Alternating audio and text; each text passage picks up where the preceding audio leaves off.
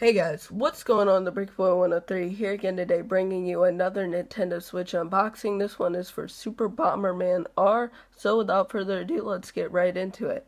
So in the top left-hand corner, you can see it says Nintendo Switch, and then on the right-hand corner, it says Bomberman 33rd since 1983.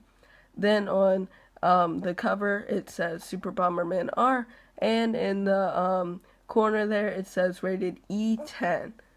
Then if we look at the spine here, it has the Nintendo Switch logo and says Super Bomberman R. Then on the back it says Have a Blast. Bomberman is back and powered up.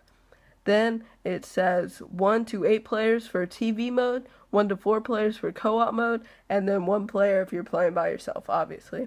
And then in the um, bottom corner it says rated E10. So let's go ahead and open this up and see what's inside.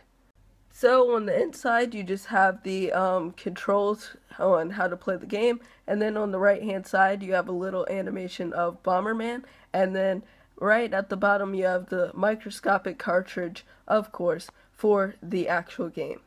But anyway, guys, that's pretty much it for this unboxing. Tomorrow I'm going to be unboxing 1-2 Switch, and then Tuesday I will have my um, Nintendo Switch, so I'll be making gameplay videos for you guys then. But until next time, guys, be sure to like, comment, favorite, and subscribe, and I will see you guys in the next video.